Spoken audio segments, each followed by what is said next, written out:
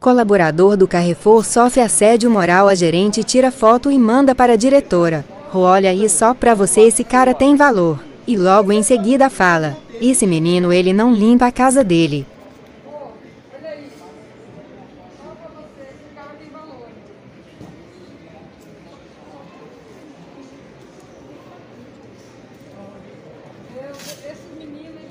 Aqui eu ia